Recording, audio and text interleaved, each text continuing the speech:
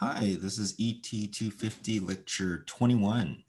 Uh, today we are going to continue our discussion on AC circuits and we're going to introduce this concept called impedance, which is just complex resistance. Uh, we'll bring up complex Ohm's law and uh, we'll have V equals plus or minus IZ that should look very familiar. Uh, and we'll look at the impedance for different values or different, different systems the resistor, the inductor, and the capacitor. And notice here, the angular frequency does matter. And so the impedance itself is a complex number. Here you see real numbers. Here you see uh, a rectangular form with just J and imaginary parts. Here you see it in a polar form. Um, so we'll bring up all of these guys. We'll look at the intuition for Z, and then we'll uh, explore the simulation just so you can see what's going on in terms of the current and the voltage and the sinusoidal waveforms. Uh, we'll review how to co uh, combine uh, different uh, combinations of Z either in series or in parallel. And actually we can just treat them like resistors. You add them up in series and when they're in parallel, you have the reciprocal. And the last thing we'll do is take our knowledge here and bring it back to our low pass and high pass filters. Because remember, these were in, uh, what do you call it, in an AC world, and they were dealing with capacitors, resistors, inductors. And so we will bring in the concept of Z and see how we can get those Bode plots, right? Before we just kind of like, well, here's the plot. Now we'll actually show you where those plots come from for both the gain and the phase. Okay, so impedance Z, a complex resistance, all right? So that's the idea I want you to have. And it can be built with a combination of resistors, inductors, and capacitors. It's still units of ohms, and later we'll do a unit check just to make sure. Um, and so we can treat a resistor, inductor, capacitor, or any combination of these three as a resistor, and that's the beauty of all this complex math and the AC waveforms. Um, we don't have to worry about V equals L d I equals C d V dt, and writing all these cosines out. We get to just stay back into our original world where all our original DC rules can be applied. KVL, KCL, nodal, KD, uh, current divider, uh, voltage divider, Thevenin Norton, superposition, all these things come back, um, but we're now in the phasor world. Okay, it's very nice. And so Ohm's law, what do we have? V equals plus or minus IR, right? Passive sign convention. Well, now we have V equals plus or minus IZ, and it's the same rules apply. You define current going into the positive terminal, then you're going to use the positive. You define current going out of the positive terminal, you're going to uh, define negative. And you might go, well, what is it? If AC doesn't matter, why do we have to put the reference uh, arrow in the polarity? Well, you got to think what happens if the current is positive? At the moment in time when the current is positive, which way is it going? And if you don't have the arrow, you don't know which way it's going. Same with the voltage. If the voltage is positive or negative, which way is the is the positive or negative going to be? Is it going to be a positive charge on the top or the bottom? So that's why even in an AC world where you might think it doesn't matter, we're going to actually dive into some analysis, it does matter. So you would want to put the polarity of the positive, negative in the current, okay? All right, so let's uh, let's dive in. Let's just straight up look at the uh, impedance for a resistor. And this fact, these facts here on the right, upper right, you just have to memorize. So the impedance, or we'll call it ZR of a resistor is just the resistance itself. Super easy. This is in rectangular form. So really it's R plus zero J. ZR in this case is R plus zero J. Okay, that's rectangular form. It just doesn't happen to have any y component. And the magnitude, well, that's pretty easy. The magnitude is equal to r with an angle of zero degrees, right? It's the same thing I've written. And if we were to look at it on the complex plane, it would look like this, okay, with a length of r. So here's your real and imaginary. Okay, here's the system, right? If you have some voltage and you have some current and some resistance, that's what it is. And we can now apply our complex Ohm's law to this. And we see V equals plus IR, right? Because the current is going in the positive terminal. And so we get something like this. V equals plus IR or Z equals V over I. It's the same thing, right? V equals plus IZ, right? Or I, uh, ZR is equal to V over I, same thing. Okay. So we're here and we go, okay, what does this mean? Well, don't forget the, the voltage is a phasor, right? And the current is also phasors. The voltage here is actually some magnitude of voltage with an angle. And same with the current, some magnitude of the current with also its own angle. Okay, so we can apply, remember our, our manipulation rules. If I divide phasors, what do I do? I divide the magnitude, but I subtract the phase. Okay, so what, what do I get? I get V over I, and I get theta V minus theta I. And what we're saying is this is equivalent to this. Okay, well, whenever we have phasor equations, you really have two equations. Whenever you have vector, remember phasors are just vectors. When you have a vector equation, you really have two equations. You either have the x and y component, the real and imaginary, or you have the magnitude and direction. Okay, so don't forget that. Okay, so what does that mean? If we have two equations, well, the first equation is the magnitude relationship. R equals the magnitude of V over the magnitude of I. Okay, that's pretty straightforward. That means the amplitude of the, if, if we held this voltage uh, amplitude constant, then the current amplitude is just scaled by R. Good. Or the R, you could think of the R is, is equal to the ratio of the voltage over the current magnitude. No problem. Okay, what about this zero degrees in theta V minus theta I? What this is saying is, uh, first of all, there's no dependence on frequency. Frequency doesn't matter it's not changing this relationship at all, right? And also, there is no phase difference between theta v and theta i. That means that both theta v and theta i are in sync. Okay, and so what does that look like? So let's say we had a resistance of two ohms. Well, what that means is that the current is half the voltage, right? okay? Or the voltage is double the, the current, same thing. And you would see something like this, where the voltage and the current are in sync. There's no phase leading and lagging relative to each other.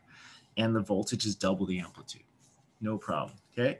And I and B are in phase. So this is the idea for our very simple pure resistor in an AC world. Okay, so now let's go to something more complicated. Let's go to inductor. So we have an inductor. Now this equation, you're just gonna have to remember it, right? There's no getting around it. But it is coming from our inductance water wheel. It's the physics. It's the physics of the inductor. And again, I have the same situation. I have V, I have high, we have complex Ohm's law. The same equation holds, right? Now for ZL, it's J omega L ohms. Or you could think of it if so remember, this is, so if I write this out, ZL equals zero plus J omega L, right? It's a, this is a rectangular form. And if I were to draw it on the complex plane, what do I have? I have ZL equals omega L angle 90 degrees, right? As I have here. And if I were to plot that on the uh, imaginary and uh, real plane, I would have omega L pointing straight up with the length of omega L. You guys see that? Okay, so now it's a little more complicated. Let's try to parse this out. Well, this part is still true, right? I'm still doing V over I on the right side. What about the left side? Well, it's just this, okay? I can just take this version. Okay, oh, okay, not too bad, not too bad. And again, it's a phasor equation or a vector equation, and I can compare the magnitude and phase. So the magnitude is this guy, and the phase is this guy. So let's look at the magnitude first omega L equals V over I. And what does that mean? What does that mean? Let's think about it. Well, it's saying that the frequency matters. The frequency, how fast these voltages and currents are oscillating. Remember, they're both oscillating at the same frequency. That's our assumption.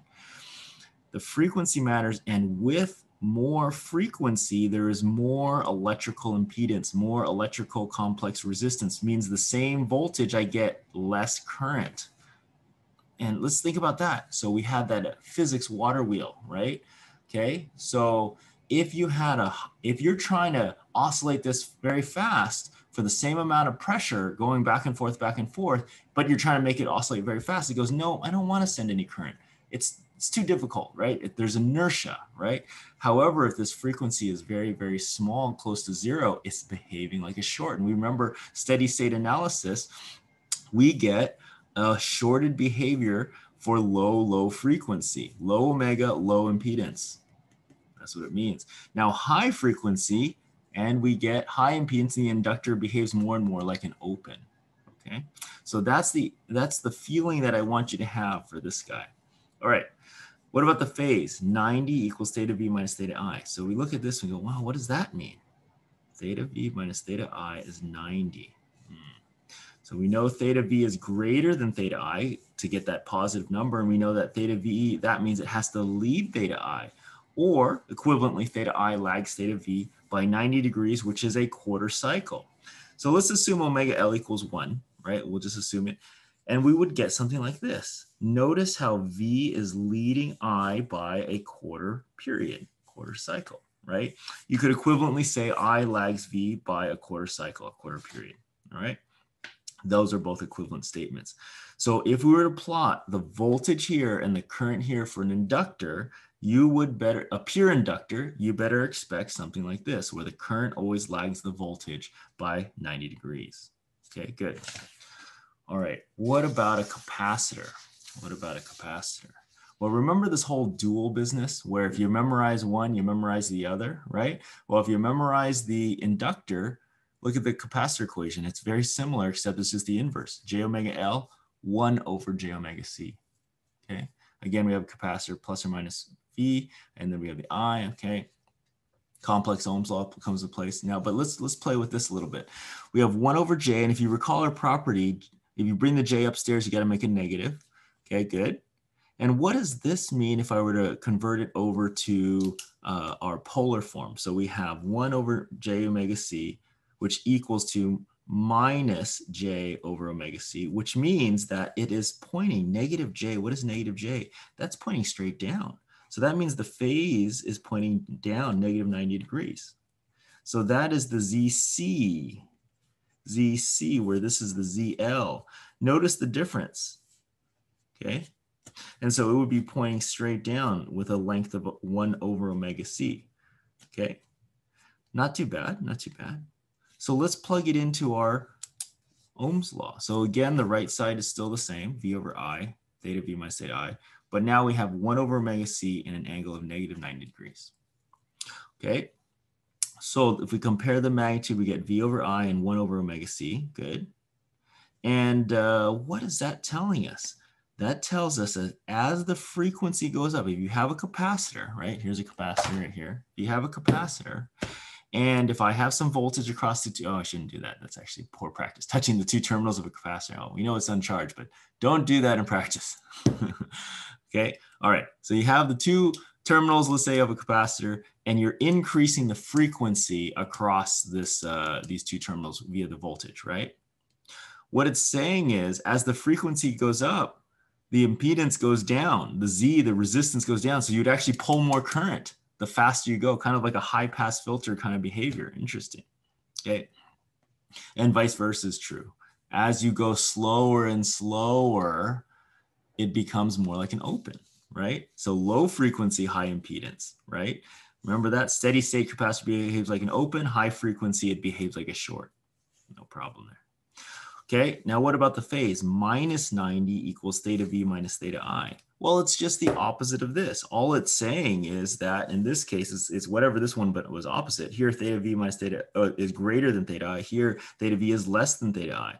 So what you could say is theta v lags theta i or theta i leads theta v. So it's the opposite of the inductor situation. So what would we expect? Let's say 1 over omega c is 1, okay? So we have uh, just 1 ohm. Then we would see like this. We would see the voltage is now lagging the current or the current is leading the voltage. Okay, so I in this case leads perfectly by a quarter cycle. Okay, not too bad.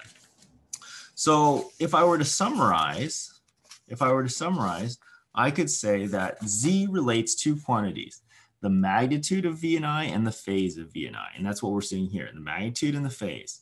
We're also seeing that Z is complex. It's made of either rectangular form where it has the real and the imaginary part. In this case, there's only imaginary for resistors, only real. But if you have a combination, you could have both. Or you could represent its polar form just like this with the magnitude and phase, okay? So I can either put the angle of Z or theta Z, that's the same thing, okay? Um, complex Ohm's law also applies and we can go because we treat it like a resistor and we get this. And so in general, if you have Z, which is V over I, the magnitude of Z is equal to the ratio of V over I magnitude. And the phase of Z or theta Z, okay, maybe, maybe I can write that here. So this is the same as saying theta Z, right? This is the same as saying theta Z, Okay, I'll write that in. So theta z is the difference between theta v minus theta i. Okay, so when if I look at, for example, let's let's go to uh, this one, you can say that negative 90 is theta v minus theta i, right? It's the phase difference between the voltage and current. All right, and then the next page is just a summary of what we just wrote. So again, complex number, right? Um, it may depend on the angular frequency. And for a resistor, we get this. Here's R, R0J, or R angle zero. And it looks like this on the complex plane. So when I see zero degrees for this uh, impedance, zero degrees here, then I know that the voltage and current are not going to have any phase difference. And I know that this R is just the ratio of V over I. I look over here and I go for an inductor, 0 plus j omega L, okay? And ZL equals omega L angle 90 degrees, which tells me that I get a, uh, that's a capacitor, sorry. I get a theta V minus theta of 90. It points straight up. And what does that mean? As L or omega increases, I get more impedance. I get more current blocking for the same voltage, right? And uh, I get current lagging. Good. And uh, for a capacitor, we get 1 over j omega c, which is the same as negative j over omega c, which is the same as 1 over omega c with an angle of minus 90 degrees. And what is it saying? It says that the current leads the voltage. And it also says that if I increase the capacitance and I increase the frequency, because they're in the downstairs, I actually get more current because I get less impedance. Interesting. More capacitance or more frequency makes it behave more and more like a short, right? Interesting, interesting. Whereas here, less frequency and less inductance makes it behave more and more like a short. Okay, kind of remember that dual. Okay, all right, so this is a good uh, summary of what's going on. Um, let's look at just a quick unit check, and then I want to go and uh, look at a simulation. All right. Okay, don't forget Z is always in ohms, not henries and not farads. For the resistor equation, it's easy to see, right? Ohms. But what about this omega L? Does omega in radians per second times L, which is henries, equal an ohm? Well, let's double check. Okay, so what equation do we have for henries? Well, henries, we can have our nice V equals L di dt equation. So we know that a henry equals a volt second per amp. Henry equals a volt second per amp. So if I can take a volt second per amp and replace in here, what do I get? I know I get the seconds to cancel and I get volts per amp. Well, we totally know by Ohm's law, a volt per amp is an ohm, yay. What about for a capacitor equation? 1 over omega c, so what do we have? 1 over radians per second times a farad, right? Radians per second times a farad. And we can use our capacitor equation, I equals C dV dt, which means that, what do we have? A farad is an amp second per volt. So kind of the opposite of this, not a volt second per amp, but an amp second per volt. And I plug it in, what do I get? Amp second per volt, seconds cancel, I get an amps per volt on the bottom, which is a volt per amp on the top, which is an ohm. So yes, the units for all three of these better come out to ohms or electrical uh, uh, resistance, right? Okay, um, let's go to the simulation and just double check all the theory. So let's just review real quick before we go to the simulation. Let's go look at this. In phase for resistor, right? Zero degrees. For inductor, what do we have? Current lags voltage because we have this 90. And for increasing omega, we get less current for the same voltage. Here, for a capacitor, we have current lead voltage, right? And for increasing frequency, we have more current for the same voltage because it's in the downstairs. Okay, with that in mind, hold that in your brain and let's go to the simulation and double check out some, double check some of these things. Okay, so I'll go back here and uh, let's go to this one. Okay. So we're here in the simulation and I have an AC system and I have an inductor and a resistor. And if I look at just the inductor, which I'm plotting the voltage and current across the inductor, let's run it. Look at this. Look at the current in yellow and look at the voltage in green and notice the current lags the voltage. Good. I can also go here, view and scope, which, which plots the voltage and current of just the resistor itself and look at the voltage and current. They are in phase. They are in phase. That's nice. That's nice. Okay. Um, look at what else can we do? What's nice about this uh, circuit simulator is you can go to AC circuits and type in capacitor, right? So now look at the capacitor. The voltage and current of the capacitor is such that the current is now leading. Look at the yellow. The current is leading the voltage by 90 degrees or quarter cycle. And again, if we still plot, view, and scope the resistor, what do we notice? Still, even though it had a capacitor hooked up to it, it doesn't care. If I look at the voltage and current of its own self, then it's still in phase, okay? All right, so what else can we look at? So if we go to AC circuits, look at this. What do we have? We have inductors with different frequencies. Okay, so we have 30, 80, and 200. Now, what did we think? We have omega L as our omega L as our uh, impedance. So the increasing frequency better get less current. So we have, look at the same system, 200 and 400 millihenries, right? All the same system, just different frequencies. So, and then let's just double check check the voltage. Five volts amplitude, five volts amplitude, and five volts amplitude. So they all have the same voltage amplitude, all have the same resistance, all have the same inductance. The only difference is this is oscillating slower than the rest. So if we look at the voltage and current of this inductor, which is plotted on the left, what do we notice? 23 milliamps. And as we increase the frequency, nothing else, just the frequency, Notice the amplitude. We see a smaller amplitude because the frequency went up because this inertia like water wheel goes, uh-uh, I don't want to change as much, right? I, I, real, I don't like changing. So it takes more time to switch its direction, which means less current is flowing through. And the last one here at 200 Hertz, we see this. Look, nine millihenries versus 23, or sorry, nine milliamps versus 23 milliamps. So even less current. What I can do is actually I can combine them. Watch this, uh, so that you can see it visually. Combine combine. And you can see uh, now both the frequency changing and the amplitude changing. As I go through from the big one here, big current here, down to the high frequency, little current there, you can see higher frequency, but less current amplitude, okay? We can do the same thing with the capacitor. So let's go here, circuits, AC circuits, they have capacitors with various frequencies. And it's the same idea. We have low to high frequency, we have same voltage uh, amplitude, same resistor, same capacitor. And uh, let's run this. And what do we say? One over omega C is, is uh, the impedance. So that means with higher frequencies, we get more current.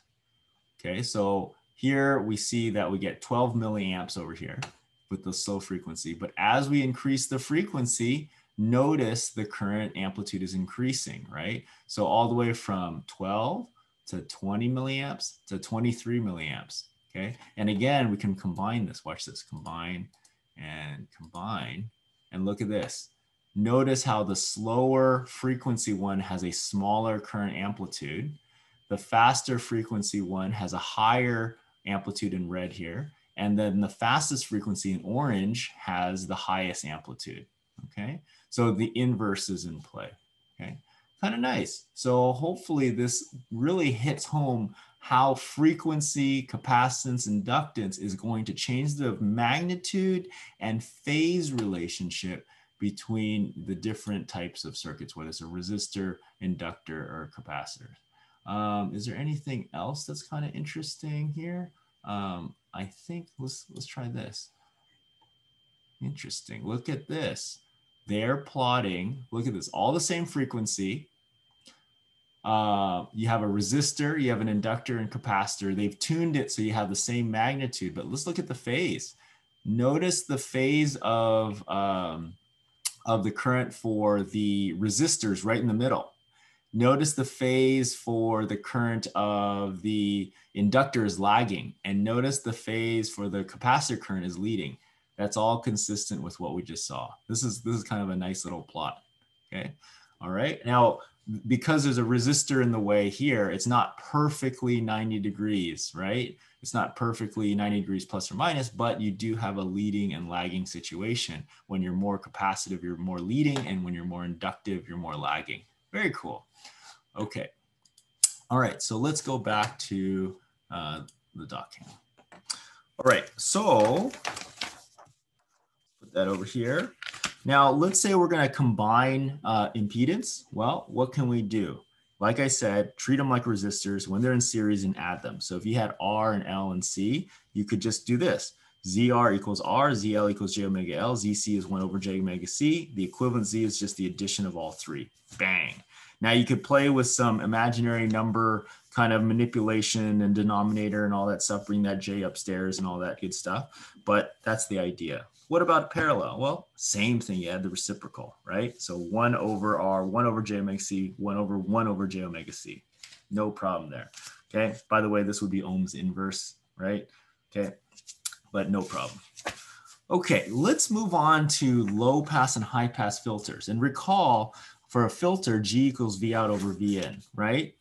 And we also recall that G changes both the magnitude and phase. And if, if you forgot about, you know, what's going to go back to that YouTube lecture um, on the high pass and low pass filters, review it first, come back to here, right? But what we saw was without giving any proofs, we just said with a low pass filter, if the input os uh, is oscillating very slowly, the output is also matching the amplitude. If the input is oscillating fast, the output is decreased in magnitude and also phase lagged by 90 degrees, right? And vice versa for a high pass filter. And we also remember that we had for a low pass filter, this was a capacitor implementation. We could also have an inductor implementation. But uh, let's just look at the capacitor for the sake of time. So let's use our new impedance complex Ohm's law rules to see if we can get a relationship between V out and V in. Okay, and let's see if we get consistency in our intuition. So now what do we have? ZR is R, ZC is 1 over J omega C. Okay, good. No problem with that. And uh, what do we have? We have uh, VI, which is over here, and V out. Okay, so we can use our voltage divider. This is so cool.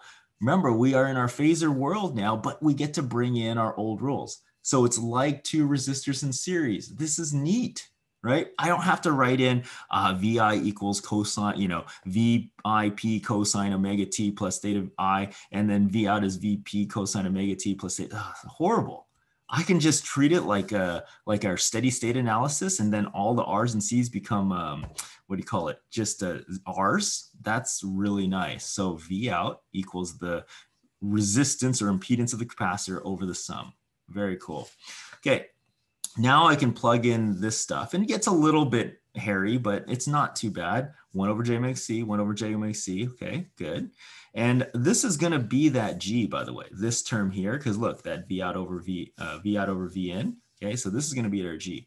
Okay, can we play some tricks with this? Well, we can. Look, if I multiply the top and bottom by J omega R, J omega C, what do I get? Well, this is going to cancel to one, and this is going to be the bottom, right? Because because this is going to cancel to one, I get J omega RC. Not too bad. So that's our G. Okay. Well, remember, this is like a phasor, right? Phasors are just vectors. So there's really two things. There's the magnitude and their phase, right? Or the real and imaginary, okay? Okay, so how would we combine this? Well, here's a, a way to do that. I can make the top, remember I'm dividing kind of complex numbers, easy to divide it when it's in magnitude uh, polar form, right? So what's the, what's the top? Well, it's one, it's a real number. So that means it's one with an angle of zero. Don't forget that. And what's the bottom? well, the bottom, what, how do I get the magnitude? Remember, if this is the uh, x-axis and this is the y-axis, well, Pythagorean theorem. So 1 squared plus omega rc squared square root. And what about the uh, angle? Well, it's the inverse tangent of the imaginary part, no j over 1, right? And no j here. Good? Okay, so inverse tangent of omega rc over 1 and Pythagorean theorem. Okay, and I can just uh, take the derivative. Okay, so I have 1 over the square root of 1 plus omega RC squared. And I have, remember when I, when I um, divide phasors or divide complex numbers, I have to subtract the phase. So minus tan inverse of omega RC. Okay, not too bad, not too bad. And I look at this and I can already see, look at this, I can already see as omega increases and decreases, I'm going to change the magnitude of G, which is going to change the magnitude relationship of V out and VI. Okay. I can already see when omega goes very, very, very low, look what I'm getting. I'm getting one. And that makes sense for a low pass filter, right? When I omega gets very, very large, look at this. This whole thing uh, goes to zero because I get one over infinity, right? And so I, I get the low pass filter behavior, no problem. Okay, that's nice. Well, what about the phase? Well, I look at this negative tan inverse. And remember, what did we say about the phase for a low pass filter? When everything is low frequency, then they're in phase. And when it's high frequency, it's shifted by 90 degrees. The output lags the input by 90 degrees.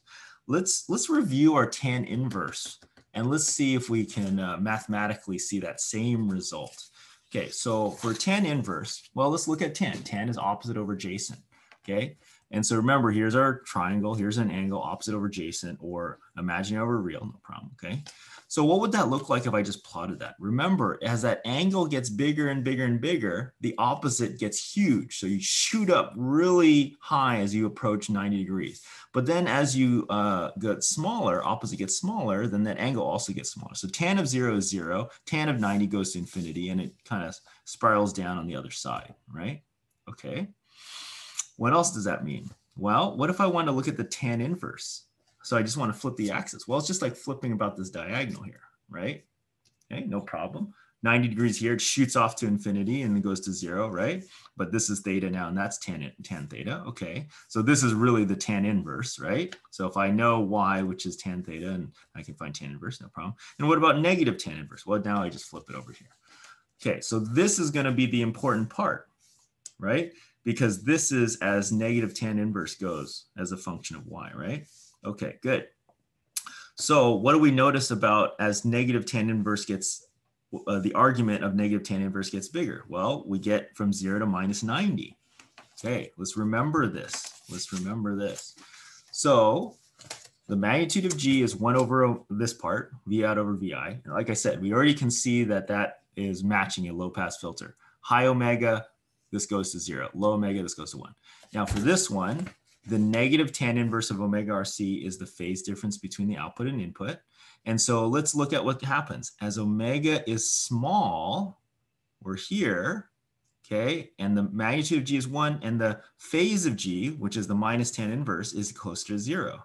And as omega gets larger, which is already right here, it's like saying this argument gets larger. What happens? Um, the angle of G becomes closer to negative 90 that mathematically now should be consistent with our theory. So, so this shows you how we went from uh, our first lecture on low pass filters and just getting the intuition of what's going on. We saw it in the simulation, right? You did it in the lab. Now we're giving you the theory behind it, right? And what did we use? We used our new impedance rules, ZR equals R, ZC equals 1 over J makes C. Used our voltage divider rule, which we learned in month one and, and then just crunched a little bit of complex math that you learned from high school. And then re recalled that if you do a phasor, right, division, then you just divide the magnitude and you subtract the phase. And then you reviewed our little bit of high school stuff from tangent review, right? Okay. And then we get that same similar result. So we're seeing intuitively, we built it by hand, and now we're seeing it mathematically. Kind of nice. All this stuff is all connected. Okay. Now let's look at that cutoff frequency. Remember that cutoff frequency, right? Um, well, maybe I'll show you the Bode plot first and then bring up the, the cutoff frequency. Okay, so if you recall, this was the Bode plot. Maybe this is a little lot, but you had the Bode plot of the low pass filter. Okay, um, so remember at low frequency, you have zero dB. Zero dB corresponds to a gain of one. Okay, and then what? It falls off and this cutoff frequency is kind of this transition point. This is this half power point, right? Where G itself equals one over root two or 20 log base 10 of one over two corresponds to negative three dB. But this was the half power point. Again, go back to that uh, high pass, low pass filter logarithm uh, lecture and you, you can see this. And we had the minus 20 dB per decade. So this is straight out of that lecture, okay? But let's talk a little bit about this cutoff frequency. We kind of like brushed that under the, you know, under the rug on that last lecture. We'll bring that back up. Okay. And then for the phase, if I plot, if I plot the logarithmic version of the negative tan inverse, I actually get this. I still get zero to minus 90, but I get this kind of nice curve. And at the cutoff frequency, you're this it's kind of this transition frequency right in the middle. You're getting minus 45 right in the middle from 0 and minus 90 that's kind of nice right? So this is a low pass filter low frequency gain of 1 or 0 dB and a phase difference of 0 high frequency gain of 0 right? V out is 0 even if vi is non-zero and a phase lag from the v out of minus 90 good. And at the cutoff frequency we're right here okay? So if we look at the cutoff frequency, I want you to think of the cutoff frequency as the transition frequency, right? And it corresponds to this half power uh, point where the gain is minus 3 dB or 1 over root 2. Okay.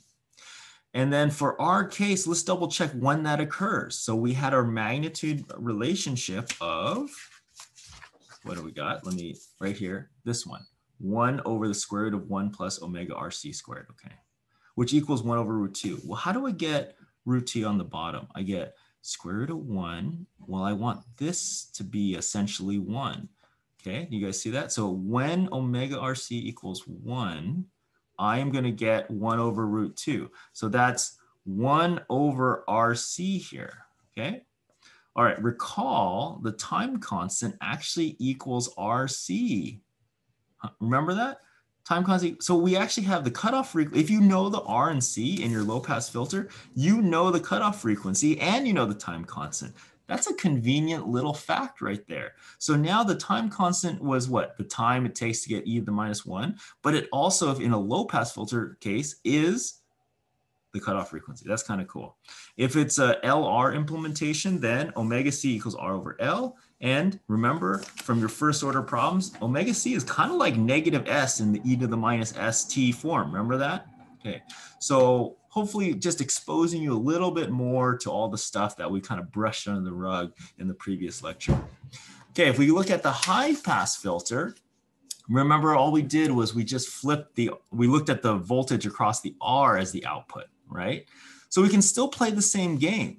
Voltage divider, V out equals VI times, treat this like a resistor and treat this like a resistor, ZR over ZR plus ZC. So let's compare it to the, uh, the other one, what do we have here? Let's compare it to this guy here, okay, where this had ZC over ZR plus ZC. And then what do we have? So notice the difference. So here we have R over R plus 1 over J omega C. Here we had 1 over J omega C. I need to be a little bit more careful in my C's so to not confuse them with L's. Okay.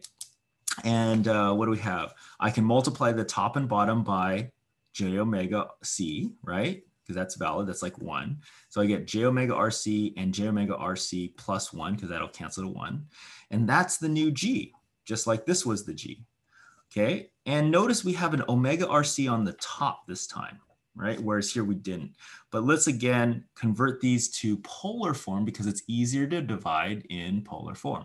So we have a J here, we have omega RC, which that means it's a 90 degrees. It's pointing, this numerator is pointing straight up and this denominator has a magnitude Pythagorean theorem and a phase of what? Inverse tangent of omega RC over one. This denominator looks exactly the same as that denominator. Good. This numerator is the only difference. Okay. Okay, what do we have for the complete picture? Remember, you have the, you divide these to get your magnitude, you subtract these to get your phase.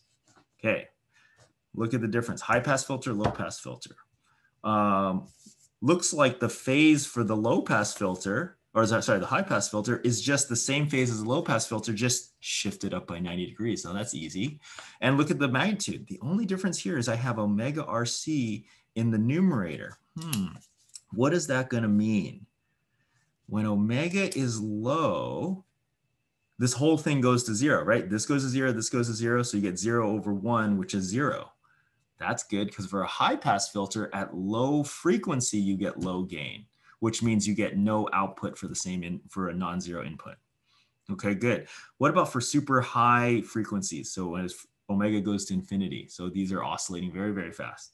Well, look, these two numbers go infinite, infinite you have infinity over infinity. If you take the L'Hopital, you know, limit as this goes to infinity, what do you get? Well, you have infinity over infinity squared square root, which is essentially infinity, and you get one.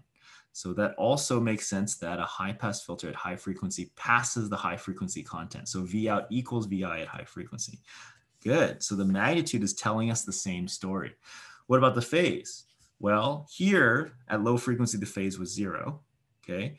But here, when this is zero at low frequency, this is going to be 90, which says that at low frequency, I get nearly no gain and I get a phase lead of 90 for the output, which is what we saw in the simulation.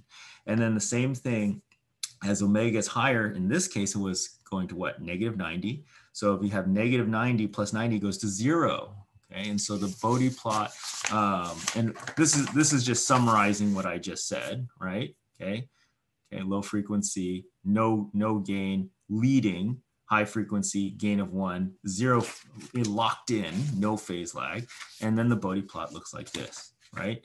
So no gain, high frequency, zero dB gain or one, and here for the phase, instead of this, it's raised up by 90. V out leads VI, good. And here, omega C has the half angle. So we got minus 3 dB. Uh, sorry, the transition frequency omega C is minus 3 dB or 1 over root 2. And over here, it's at positive 45 instead of negative 45. No problem, right? And I hope that all the math you're seeing now is not too bad because you already have the intuition. Now you're just kind of comforted with the fact that, oh, the theory is matching the intuition. That's kind of nice. And we'll just do one more. Why don't we just go and see if we can see the simulation just to kind of hit it home. So I'm going to go share screen. I'll go back to the simulation. Uh, let's go back to screen one. Okay. And so we can go to circuits, filters, and we can go to low pass filter, right? And let's run this guy. And remember, if you have a, a low pass filter, and I think what we can do is we can, can we uh, combine these? There we go. Look at this. If we combine these, you can see the output voltage in red as this frequency gets higher, starts shifting. Look at this. It starts shifting and the amplitude gets smaller. Perfect. And as the input frequency increases, notice the input frequency or input voltage maintain the same amplitude, but as it increases uh, or decreases in frequency, now the voltage of the output starts matching the input voltage and amplitude and uh, phase. Kind of cool. And let's go back to the high pass filter. So we go to passive filters and high pass filter RC. Yep, boom, boom, right there. Notice we just flipped the capacitor and resistor. And look at this, I can combine these. So hit combine. And if we notice the when when the input voltage is slowly oscillating, the output voltage is nearly zero in amplitude. But as we increase in frequency, the output starts matching the input. And I'm going to pause it real quick. Also notice the phase at lower frequencies, the output is leading the input voltage, but as we get higher and higher in frequency, the output and input start matching in phase and amplitude. Nice. So all this is hopefully consistent with your high pass and low pass filter understanding. All right, great. Um, I hope this was both a good review and a good introduction to complex numbers, complex impedance, uh, and the impedance for Z's, uh, uh, for R's, L's, and capacitors. Okay, have a great day and uh, see you later.